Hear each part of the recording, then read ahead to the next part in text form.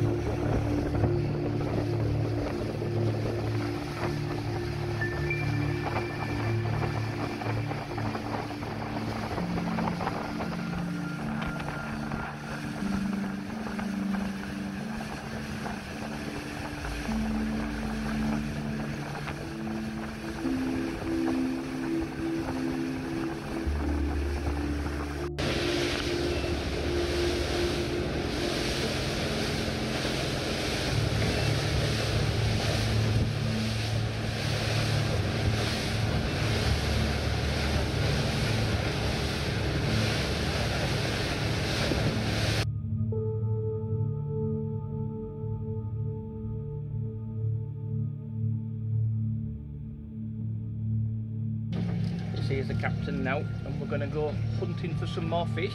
Say Sawadee Carp. we're going, going looking for some more fish.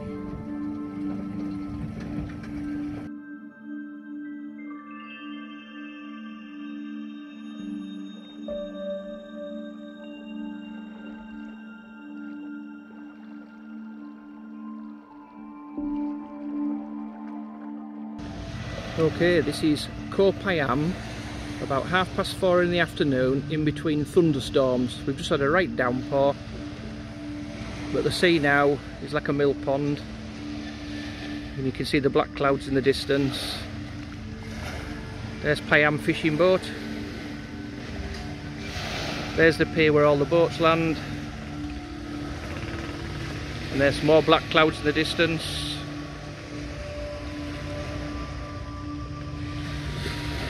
Very quiet this time of year. End of May. Unfortunately it's rainy season.